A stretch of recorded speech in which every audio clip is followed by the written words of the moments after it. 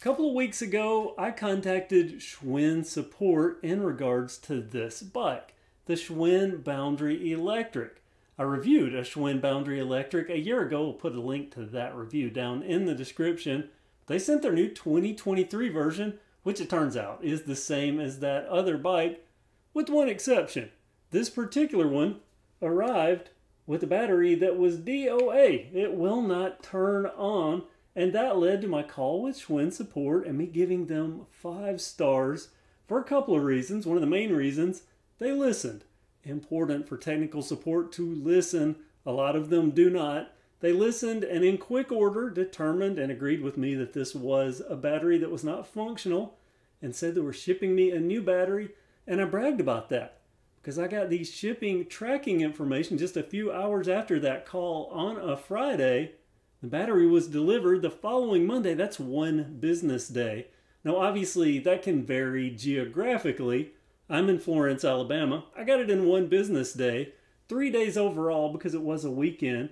That's pretty fast, especially if you've just bought a new bike, which, from technical support's perspective, was the case because it wasn't until the end of the call that I disclosed I was a reviewer.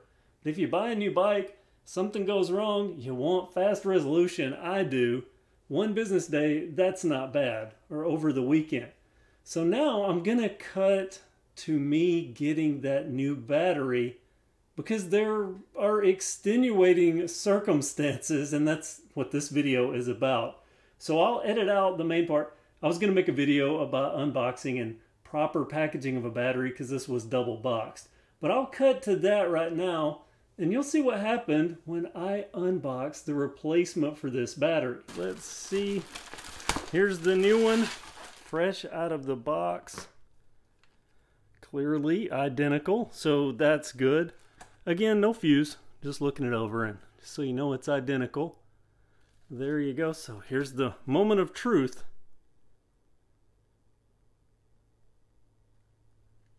What the heck?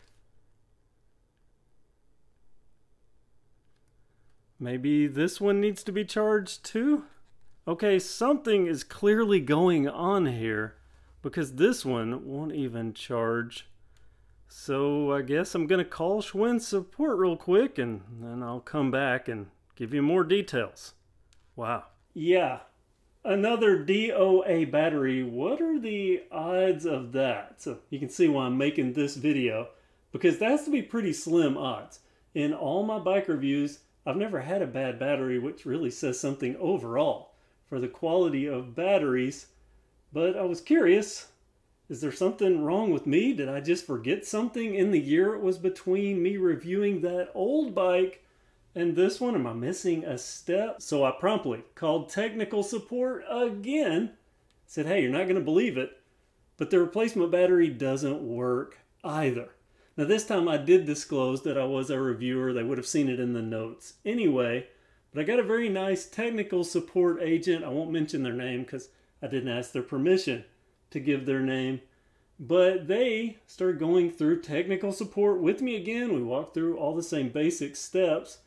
And they too started questioning if maybe I had another DOA battery and the odds of that being so small so they started escalating or doing back checks, contacting the warehouse. They were having them while they were on the phone with me open up some other batteries and test those. And in the process of them having me on hold, an idea struck. You know, one thing that I can do, I make videos. So why don't I make a video showing them my process? Trying to turn on the battery, using the original one, using the new one, and see if maybe they can see where the problem is, if there in fact is a problem with me. They agreed that would be a good video. So I made that and I'm gonna, this is behind the scenes stuff. I'm gonna share the video that I sent to Schwinn support. I'm gonna mute out the person's name, so if you hear audio cuts, that's why. But now I'm gonna go to that, let you watch that, then we'll come back and talk about a few things. Talk about a few battery things. Okay, Here's what we have going on. This is the original battery, and you can see there are no switches. That is the charge port. Nothing like that. There's just a retention thing up top. And if I press it, no light. I can press and hold, no light, no anything, dead. And when I plug it up to the charger, I'll show you that in just a second. But let me get to the replacement battery, which was 0010. You can see the same battery, but when I press, nothing. And I will mention, little side note, this has a clicky button. This is not very clicky, so could even be a button issue. Let me try pressing and holding down. I don't know if you heard it click when I pressed hard, but it does nothing.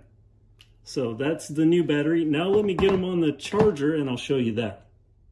Here's the original charger, but I'm gonna use the brand new one here. So I'm gonna plug it in. I'm gonna plug the charger into the wall.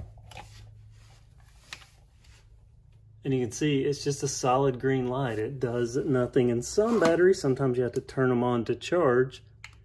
But because these won't turn on, it does nothing. And I've even left them sit for like 30 minutes, or at least let this one sit for 30 minutes. But that's the old battery. So let me unplug this charger. And let me plug up the new battery. That was the 0010. That's the new battery. Okay, so that's plugged up. Plug it into the wall. And you can see it's just green light. It never goes red. So bizarre. And the odds of that, unless there's a bad batch of batteries or something, which I really sincerely hope doesn't happen. But anyway, that's where I'm at right now.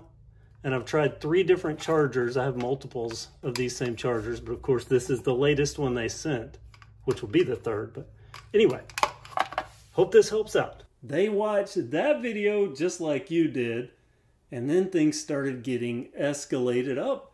I believe two tiers, or at least a multiple different people in support at Schwinn.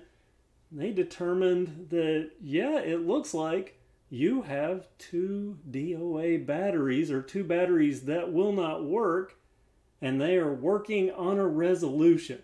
And this took part over two, I believe maybe even three days that we're going through support, maybe maybe just two days. But we were going through emails, or at least I was receiving emails where they were working on possible resolutions, and I was curious myself, how do you spin this? What's the positive resolution for this? Because let's look at this from a consumer standpoint, which is how I approach everything. If I've just paid money for this bike and I can't ride it, then you get five stars from me as a customer and get me a replacement battery only to have the same problem and technically maybe even another one because the button on this one, as I mentioned in that video, doesn't even feel and sound clicky like this one. So what are the odds of this going on and how do you fix that? Let's go over their potential options here before I show you their resolution. Well, there are a couple of options. Coming from a previous technical support background and quality control background, I would want to see these batteries. But from a customer perspective, I wouldn't want to send these batteries back and then have to wait for them to get them and test it out and all that. So I think that's probably not going to happen.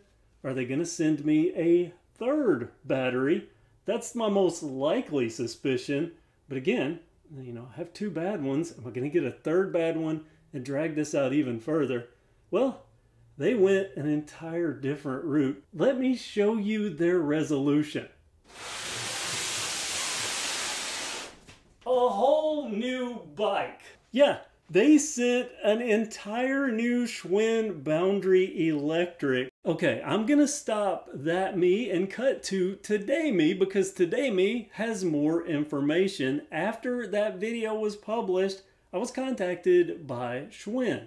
And I'm not talking Schwinn technical support calling me back. I'm talking about those people at Schwinn that I know the names of, but I just don't get to speak to. And they gave me some information that I consider a little bit of behind the scenes information, but also gave me a couple of quotes here. Quote number one We have confirmed this issue was isolated to a small number of batteries. These units have been quarantined and will no longer ship. So you don't have to worry if you're a consumer buying a bike that's out on the market or sold at Walmart it will have a good battery. And the second thing is that this is not all Schwinn e-bikes. And I know why they said this, because my title said Schwinn e-bikes at Walmart, when in fact this pertains specifically to the Boundary Electric men's 27.5 and men's 29 models. There's one right there. So it's only those two models, and it was only a small batch of batteries in those two models. I just happened to get two of them, so hey, rare collectibles. Rare, should I put these on even? No, kidding, I'm kidding. But I have rarities here, rare birds. So I want to share that information with you. And also, again, point out I have a box bike that's donated from Schwinn. It's going to be going right to the Trail nonprofit. And I'm thinking I'm going to contact them now that they've identified all the batteries that are bad and quarantined those. I'm going to see if I can get another battery for this bike and donate that too, rather than it just being a parts bike. That's a win-win for Schwinn. Ooh, that's a Schwinn. W-I-N-N. See what I did there? I should trademark that and license it to them. Anyway, there you go. Official word from Schwinn. Thank you so much for watching this channel. I did pull down that last video because I knew I was going to be editing an update once I started getting more information. So if you commented on that video, you might want to comment on this one with whatever you said. That way, you know, we're doing the people's work here, the consumer's work. That way your voice can still be heard. Or if you have any new comments based on today's video, this information, be sure to put that down in the comments and give this video a thumbs up. That always helps the channel. Thank you for watching Kev Central and have a great day.